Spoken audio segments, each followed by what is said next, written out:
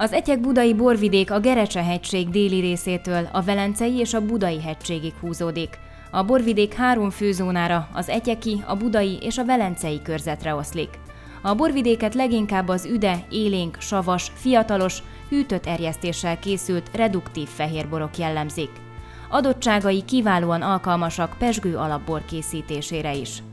A budai borvidéki körzet szőlő- és borkultúrája évszázados múlttal, gazdag hagyományokkal rendelkezik.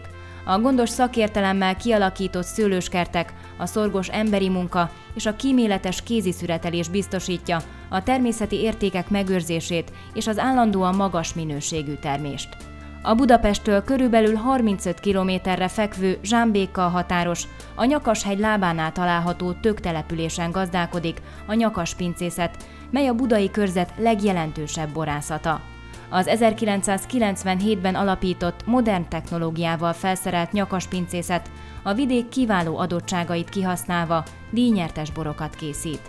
Nagyon régi bortermelői hagyományokkal rendelkezik ez a vidék, és 1700-es évektől már itt több száz hold szőlő volt. Aztán a filoxéra vész után, illetve hát a, a rendszerváltásig elég sok mindenen átment ez a környék. Itt a filoxéra víz, aztán a kitelepítések, a szocialista időszak, amikor az alapokat a törlei pesgő alapbor készítésével töltöttük, több száz hektáron pesgő alapbort termeltünk, és a rendszerváltás után egy 5-10 fő itt elhatározta, hogy megteremti ezt a borászatot a régi ültetvényeken, illetve új telepítéseken. Tudtuk, hogy itt van a Majernő, a Hűkarabeáta, a borászaink, rajtuk keresztül egy kicsit a Corvinus Egyetem bortanszéke is, tehát, tehát olyan biztos szakmai háttér van mögöttünk, hogy, hogy szinte biztosak voltunk, hogy, hogy jó irányt veszünk. Főborászukat Maja Ernőt 2001-ben az év borászává választották. A pincészet 150 hektáron gazdálkodik, szőlőterületeik az Egyek-budai borvidék északi körzetében, Budajenő és Tökközségek határában, a Nyakasdomblankáin, a Budai hegység nyugati lejtőin, a Zsámbéki medencében terülnek el, amiből 50 hektár már új telepítés. A borvidékre és a hagyományokra jellemző reduktív fehérborokat készítenek. A messzes altalaj biztosítja a fehérborok masszív savtartalmát. 2006-tól évről évre emelkedik palackos termelésük, és ma már közel 600 ezer palackbort állítanak elő.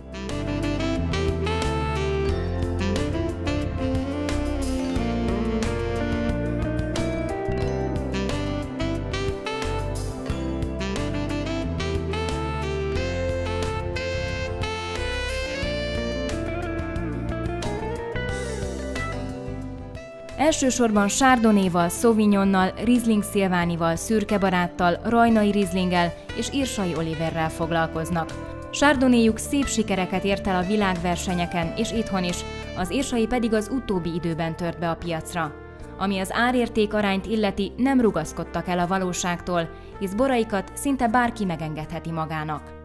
A közelmúltban új pincét építettek ászoktérrel, kisebb feldolgozóval, mely biztosítja a késői szüretelésű fajták különböző feldolgozási formáit, így akár nagyobb presztízsű, csúcskategóriás borokat is készíthetnek. Mivel az árakat nem tudjuk emelni, a közvetlen értékesítése természetesen több marad nálunk.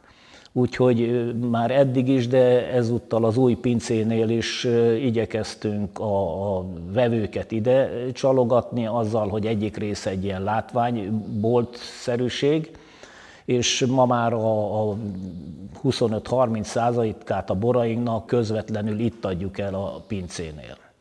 Persze a többség még mindig a hálózatokon, kereskedőkön keresztül történik az értékesítés, de Hát erre is szükség van, így váltunk ismerté, hogy mindenhol ott vagyunk. Alapvető különbség a, a többi borvidékkel szemben az itt termelt boroknak, amit említettem, amit a, a messzes altalaj lehetőséget ad, a kemény, savas karakter, tehát olyan időkben is, ahol máskor, máshol lelágyulnak a borok, gond van velük, itt ez soha nem fordul elő.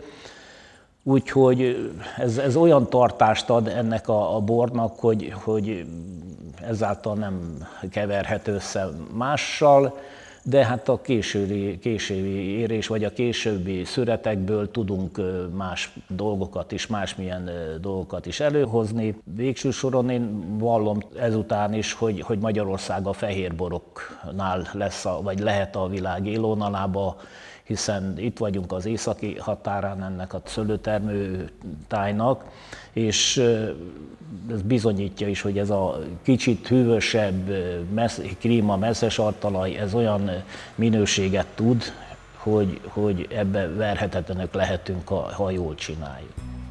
A pincészet tervezi vörösborok és rozék előállítását is.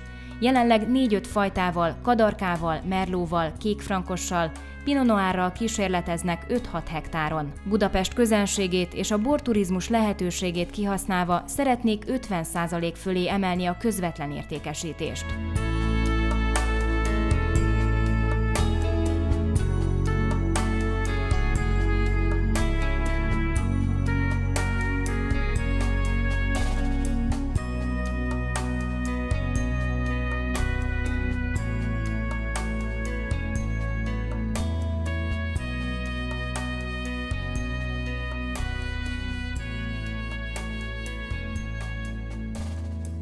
Csodálatos környezet, látványos, szép, korszerű pince, borkóstoló és borkimérő helyiség várja az ide látogató vendégeket, vásárlókat. Győződjön meg ön is vendég szeretetükről és borai kiválóságáról. Sok szeretettel várja a nyakas pincészet.